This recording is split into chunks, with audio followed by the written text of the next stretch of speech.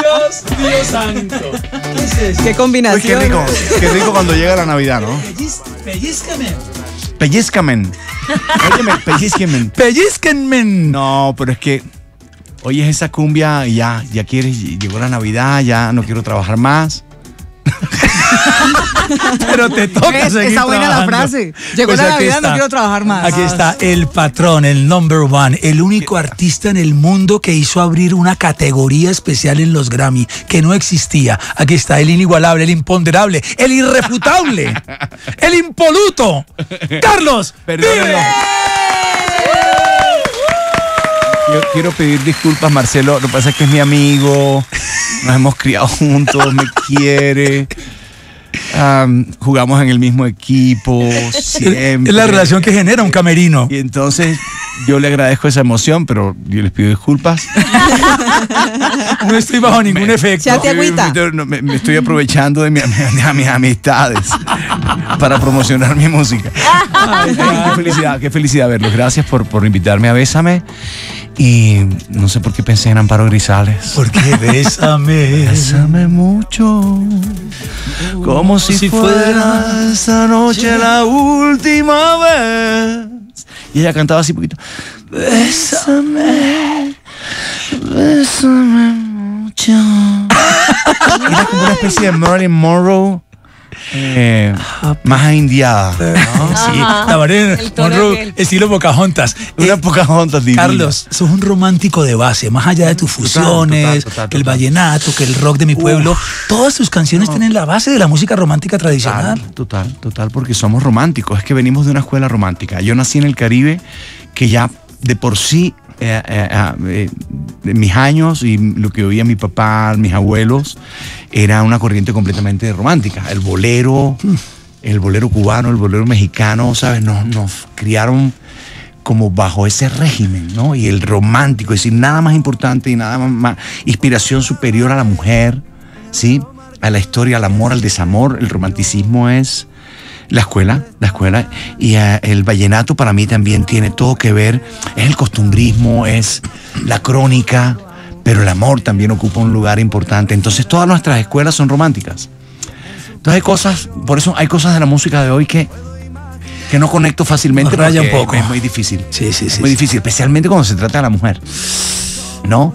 Porque yo entiendo, hoy, hoy descubro cosas que me hacen, me, me- me- me- impresionan mucho. Ah, ciertos feminismos, el- el- lo del patriarcado, que no es exactamente lo que nos tocó. Por lo menos a mí no me tocó el patriarcado. ¿No? La mujer siempre ha sido como todo, todo, la que organiza, la que lleva, la que jala, la que cuida. Y aquí estoy yo con tres mujerones, ¿ves? Sí, no, Bien a acompañados. ver. Está invadido. ¿Qué crees? Y ¿Qué nosotros crees? ¿Tú qué hacemos- Como casi siempre en mi vida, Claro. ¿Eh? Tú vas a mi oficina y tú vas a mi oficina y hay gente que me dice, no, no, no, no le dan trabajo a ningún hombre aquí. Aquí no reciben hombres. Cuestión- no es cuestión de, no es cuestión de, de- de- sino que eh, al final el liderazgo de ella siempre Muy especial. Total y en el hogar y en todo, en la vida. Es decir, yo soy feliz. A mí, yo he tenido la suerte de que, es decir, hay mujeres que me han hecho sufrir mucho, pero siempre me salvó una mujer y siempre, y a mí, ¿cómo me encanta? Qué lindo, qué lindo. Que me lleven, que me lleven, que me lleven. Ahí tiene, Pero, ahí pero Carlos, casa. tú arrancaste cantando baladas. Sí, claro. No podrás escapar de mí. Fue una canción. Poder mirar tus ojos. tus Uy, ojos. qué canción. Ah, ah. Estar siempre a tu Vamos, lado. Vamos, vamos, vamos, Carlos, carajo. Importante. ¿Tú te acuerdas? Claro. Nos encontramos en un vuelo a Puerto Rico. Sí, hablamos Y ya voy a decir de ese vuelo, pero escuchemos un No. poquito de esta versión romántica de Carlos Vives. No podrás escapar de mí.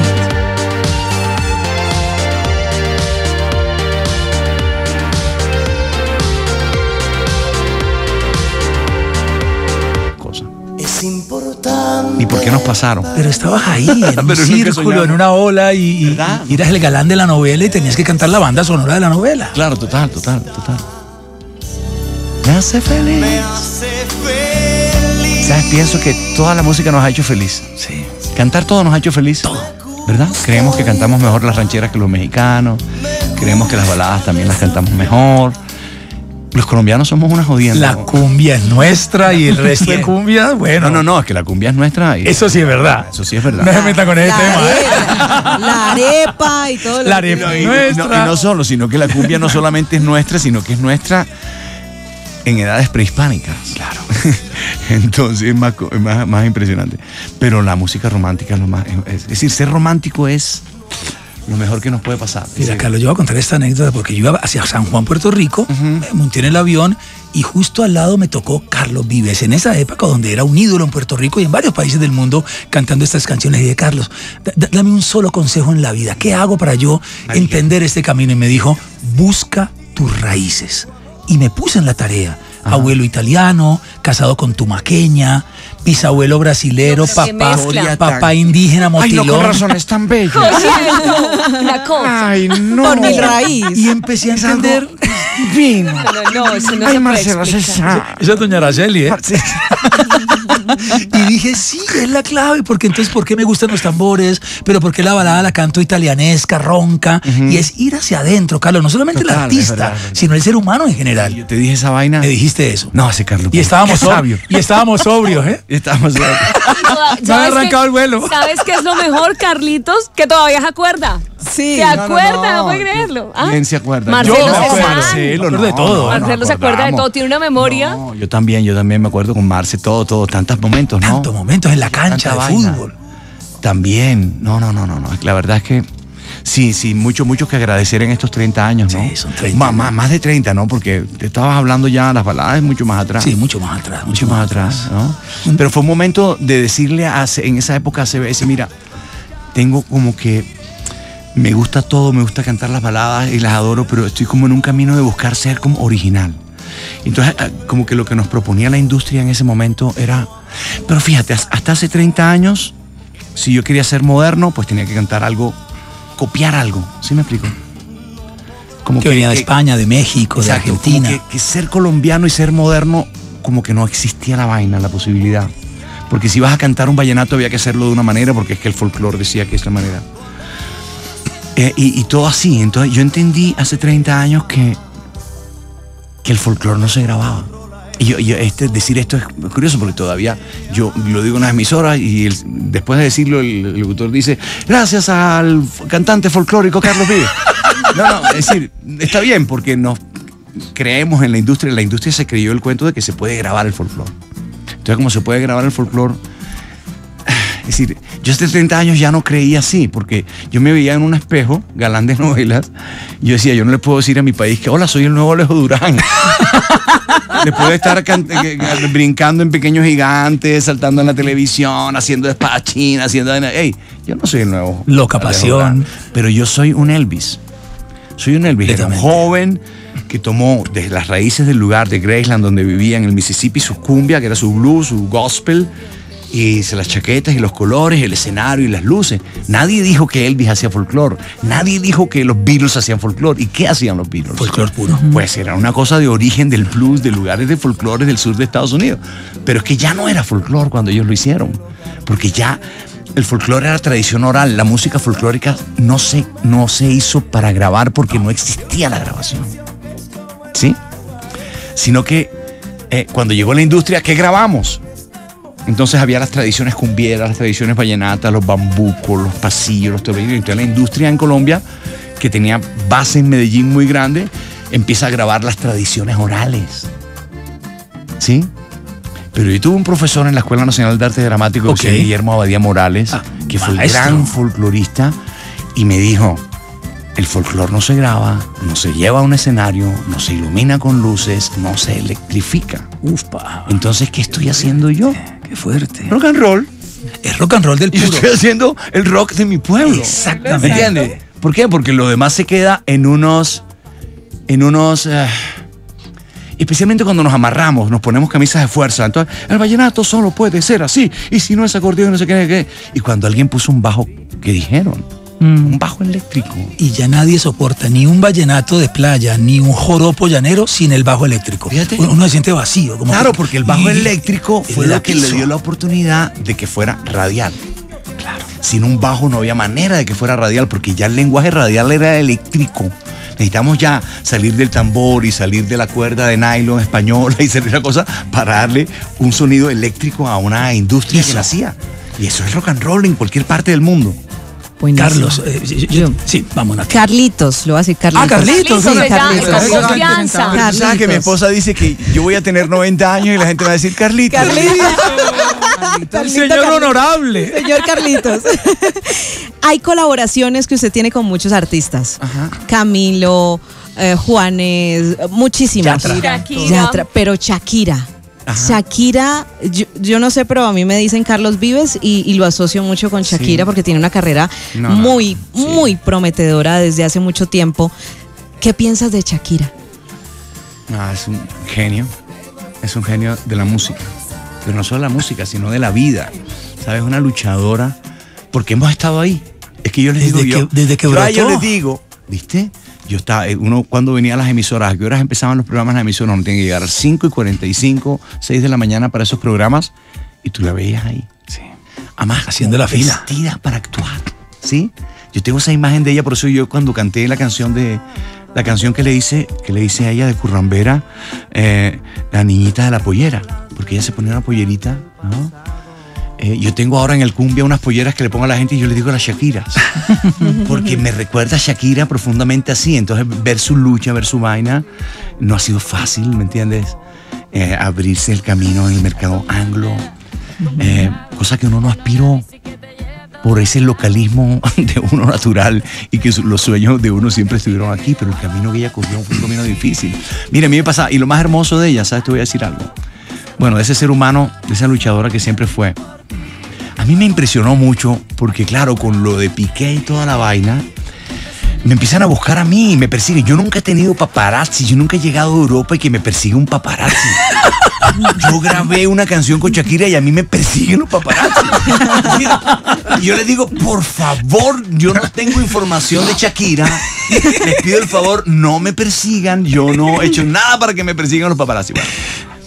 Y me, me llamó mucho la atención de, de cuando ella se separa de Piqué, que me di cuenta que para la gente ya no es importante el matrimonio. ¿Sí? En Europa me di cuenta que la gente veo, yo les digo, ustedes no valoran el matrimonio. Para una mujer colombiana, para una mujer como Shakira, su matrimonio es lo más sagrado. Es decir, no es que ella está herida porque sí, pero es que me di cuenta de eso. Hay una sociedad que hoy el, como que uno se casa y como que- Desechable. Ay, sí. como una cosa desechable y todo el mundo, y todo el mundo yo le digo, Fluyamos y si no, no, no, yo pues. le digo, no, no, no. Perdóname, yo no sé cómo las cosas en España. Pero para una mujer como Shakira, perder su matrimonio, partir- dañar, es decir, el dolor de los niños, eso es muy duro. Mucho. Es decir, y se metieron con una mujer que además es muy creativa. Es Cuidado, ¿eh? muy barranquillera, ¿entiendes? Y muy musical. Yo digo, me sorprendió eso.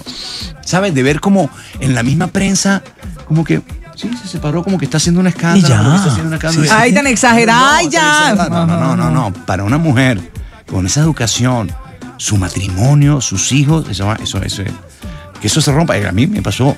Y la gente piensa que, eh, eh, artista, tiene muchas mujeres. No, que a uno se le rompa ese núcleo.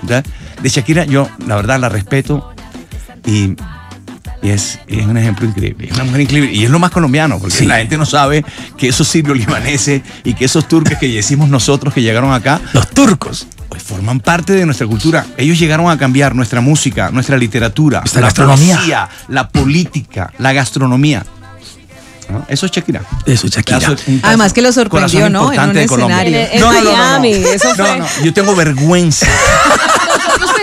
Que era que tú estabas enojado porque Peleado te, has- Shakira. claro, y este, te alejaste, no supiste y dijimos, de pronto es que no está viendo que Shakira No, no, no. estaba ahí detrás. Yo- ey, estaba ey. sorprendido. Marica, es que yo. No joda. Perdón, perdón, pero, pero es que yo te digo, yo me veo en el video y a mí me da vergüenza, ¿sabes? Y yo le digo a mi esposa, ¿por qué no me dijiste? No, que esto lo había cuadrado. No, no, no, no, en serio, porque yo lo que menos esperaba realmente conociéndola, porque la conozco y sé lo piqui que es ella para salir a cantar. Es decir, yo canto encima de- de un tejado. Porque Ella- tenés escuela de bar. Muchacha canta donde sea. donde sea. Y por supuesto, pero Shaki es de ensayar de la cosa, el movimiento, cada cosa, cada paso, cada. Ey, ella es una cosa seria. Entonces, lo que yo menos me podía imaginar, para que empiece, esta es mi posición psicológica. Ajá. Entonces, me mete a alguien que no reconozco. Ajá. Entonces, ñerda, se subió. Tú lo que esperas es que llegue la seguridad. y se- Seguridad. Y ella lo perseguía. Claro, entonces yo para allá y me llevaba para allá para seguir Y yo. ella detrás tuyo. Y ella detrás mío y yo. y ella detrás tuyo y tú. horrible, horrible. Y tú sacándole Y de el repente, cuerpo. yo sacándole el cuerpo. Peor. Eso no le pasa a Y Carlos. de repente hago así y digo, ¡ay! Ella con su jeansito de cuánto es que era, de No. 18 Casi de- millones. Casi de 10 milloncitos de pesos. Se puso la mejor Se puso pinta la mejor pinta. para sorprenderte. Ay, no, te voy a decir una cosa. Algo pasó en Shaki en su, vida para que haya hecho eso. Además, no me lo vas a creer. Estaba sin maquillaje, era completamente natural. Entonces, es decir, lo que yo menos podía pensar era que era Shaki.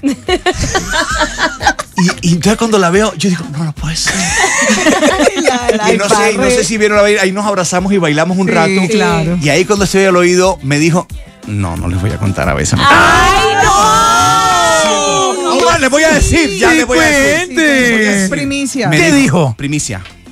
Me dijo, bésame. Carlos, hablando de raíces. No, no, lo voy a decir serio que me dijo. ¿Qué le dijo? Me dijo, yo quiero que sepas que estoy aquí porque eh, soy un colombiano más agradecido. Ay, qué belleza. Ya, ya, me dijo eso. Yo. Lindo. Entonces ahí tratamos de, que de cantar algo de la bicicleta que nunca la habíamos cantado. ¿Qué es eso? y empieza a bailar y ya yo no sabía ni qué hacer. Le olvidó la letra. Qué momento, pero te lo digo. Ah, se lo agradecí y, eh, y ella es una vaina seria, en serio. Pero tú tienes que estar. Óyeme, y lo más hermoso son los pelados. Ay, lindos. Ey, no te imaginas esos culicagados. Milán y Sasha. No, no, no, no, no, pero ahora que estábamos en Sevilla, a mí eso no me había pasado. Estuve yo en el hotel, estamos en el mismo hotel y estamos en el mismo piso, ¿no? Entonces yo entré así, nada, y no vi, y vi unos manes ahí, de pronto, ¡Ey, Carlos! ¡Carlos! Digo, mierda, es como un man barranquillero que me está llamando. y me volteo y era Mila. Oye, eh, vamos a jugar, vamos a jugar fútbol. Y entonces empezamos a patear balón ahí en En el pasillo del hotel. Dos pelados divinos, ahorita sonrientes, entradores, ¿sabes? Conversadores, ¿no? Sí, sí, mitad y mitad, de la mamá y el papá.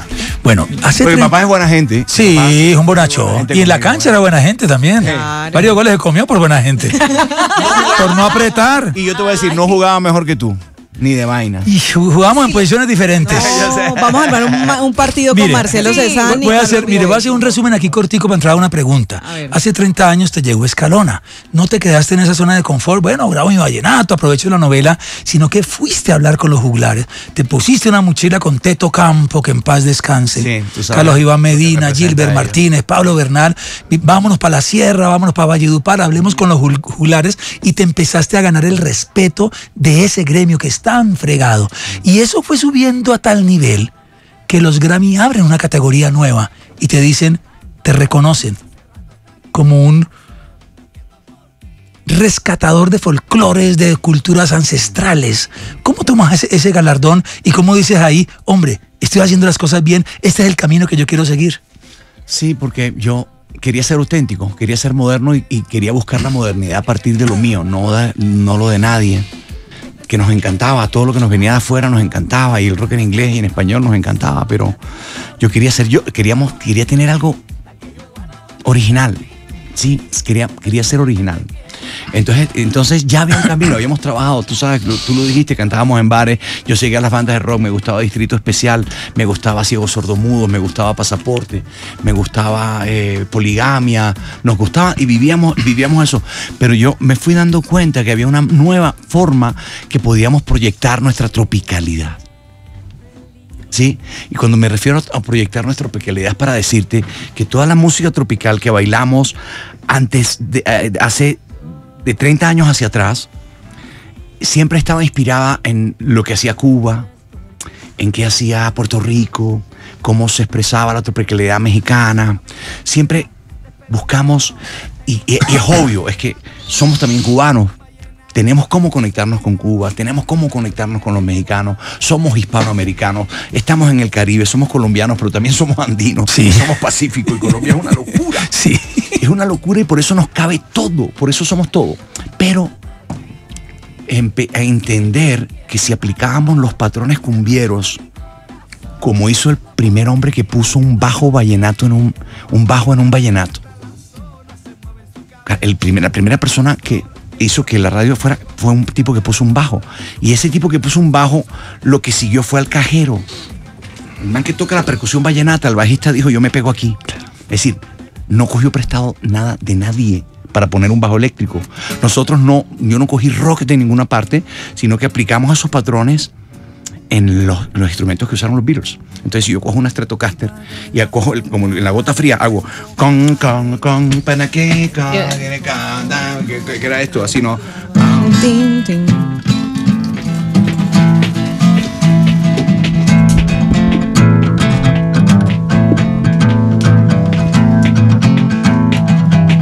Base del blues. Eso parece un blues, parece una cumbia, es una cumbia. Pero, ah, Carlos es rockero.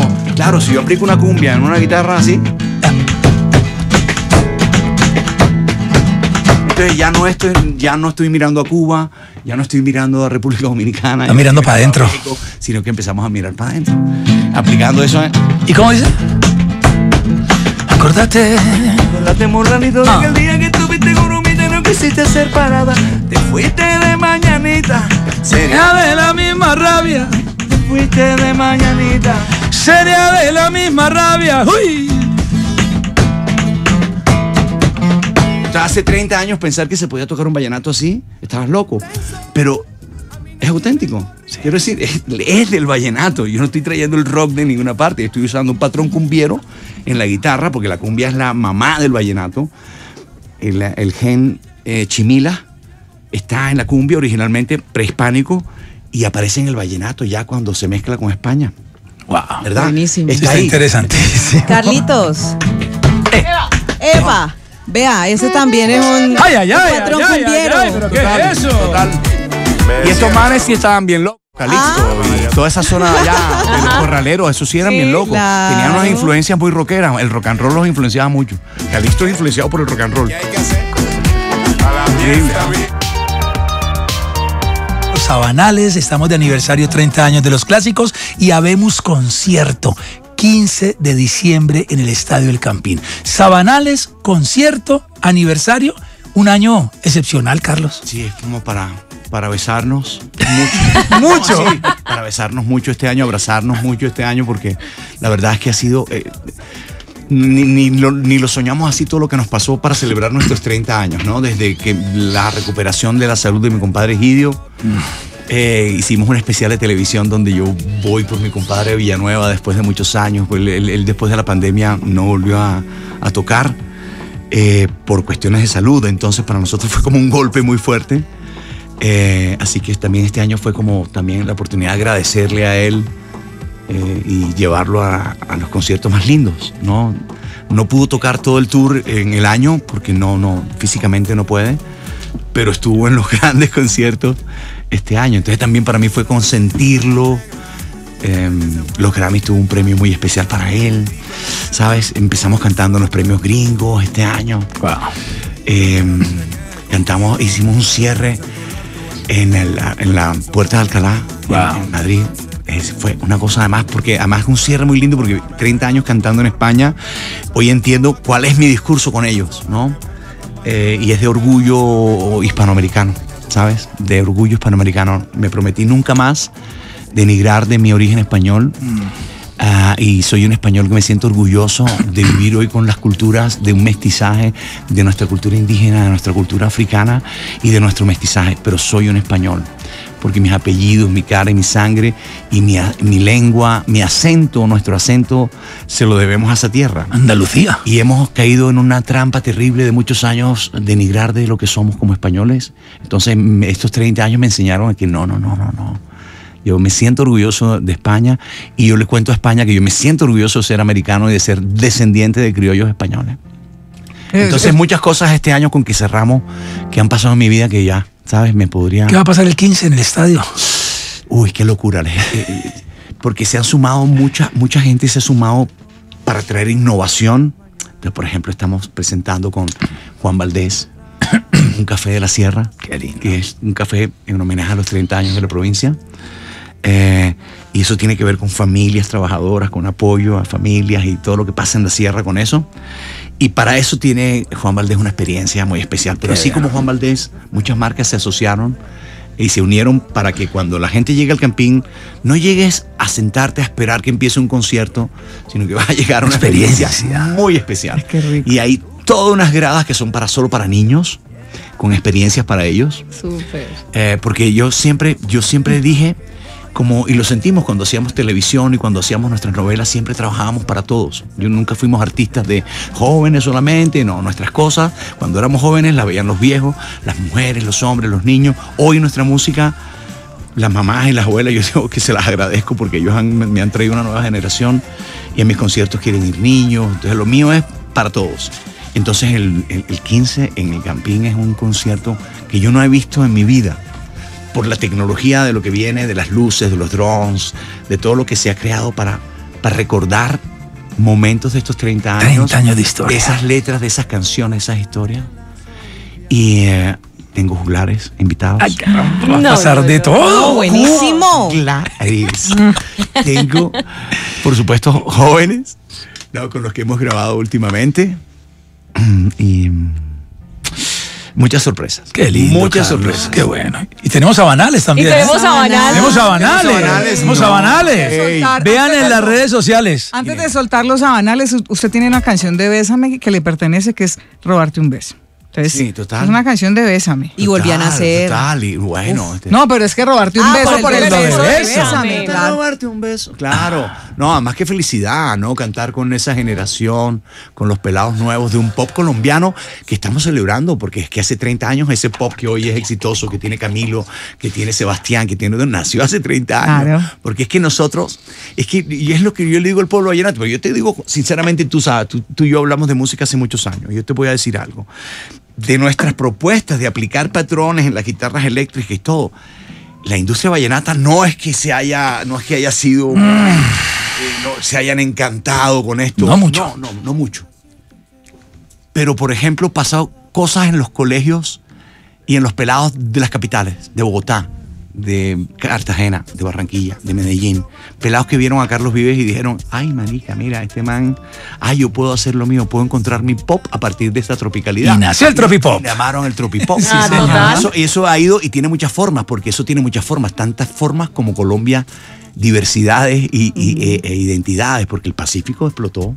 Y mira lo que trajo el Pacífico, a más hip hop, menos hip hop, con sus influencias, pero fíjate, es una cosa de colombianidad muy fuerte que estamos celebrando estos 30 años. Yo no estoy celebrando solo a Carlos Vives, estoy celebrando el éxito porque, ok, le hicieron toda una campaña contra el tropipop y no entendieron lo que estaba pasando porque además se asustaron porque es que la industria tiene dueños y que llega una música así de así de repente y que coja todos los puestos. Hubo gente que se mosqueó y nos abrieron, nos, nos fueron como y la cosa. No entendimos lo que pasaba, lo que vino con una nueva generación. Hoy muy exitoso, Fonseca, muy exitoso. Mm, Gerao, Lucas Hijo- Arnao. Gerao, Lucas, todos, todos ellos. Sin ánimo de lucro. Hijos míos, hijos míos. Además que después iban allá a Gaira y todos, ¿me entiendes? Y cuando sufríamos, todos iban a quejarse allá cuando sufríamos. Entonces yo estoy celebrándolos a ellos y por eso ellos forman parte también de todo. Este muchacho está soltando. Bueno, Ahora entonces, sí, los ahora sí. sabanales. Los sabanales y nos Bueno, tenemos mira, que ir. Miren, Ay, para poder sí. hacer, gente que cuando empezamos a hacer esta canción, es una canción que los colombianos ya tenemos. Lo oímos y ya quien, quien se queda sentado es porque, ¿me No. entiende? Es mocho. ¿Entiendes? O tiene dos pies izquierdos. Los dos bien izquierdos. Oye, pero imagínate que empezamos a grabar la canción y, y la grabamos entonces el acordeonista, hazme la vuelta perfecta. Este es el acordeón que usó Calixto. Sí, este es el acordeón. Tres coronas, no sé qué, tres coronas, no sé qué. El tono, estamos en el tono de Calixto. Sí, yo quiero pegarme a Calixto. Entonces arrancamos. Y no. ¿Qué pasa? ¿Por qué no emociona? Grabamos, oigamos. Claro, ¿qué pasa? Ay, no sé. Pon la de Calixto. Ay. La nuestra, ¿por qué no funciona? Porque Calixto intervenía sus acordeones. Las acordeones que tocaba Calixto solo sonaban así porque él era un mec- mecánico musical, le metía vainas, metía entonces sonaba más brillante la vaina, pegaba más con el, te- el- el- el- el timbre de la voz de él, era un genio. Y nos dimos cuenta y tocó hacer el acordeón, mandar a hacer el acordeón como lo, como lo intervino. eh, y lo logramos, aquí Y le metió Sí. también a Ryan están. Castro. Sí, no, Ryan, Ryan, Imagínate, Ryan, de origen humilde paisa, nació oyendo esta vaina en las navidades Uy, cantada por su papá buenísimo. paisa. Entonces cuando yo le dije esta canción, me dijo, uy, eso es de mi mamá. Está. Hagámosle, hagámosle. Carlos Vives, se va a Carlos. unir a nuestro tren. Bésame. Pero rapidito, ¿eh? Rapidito. Rapidísimo, Vamos, vamos, rapidísimo. No, tren, Es un bailoteo. Ey, no me dejen, no me dejen. Es un bailoteo, ¿eh? un Que no me deje el tren, que no me deje el tren. Como una prima mía, una prima mía que la dejó el tren. ¿Qué hay que hacer?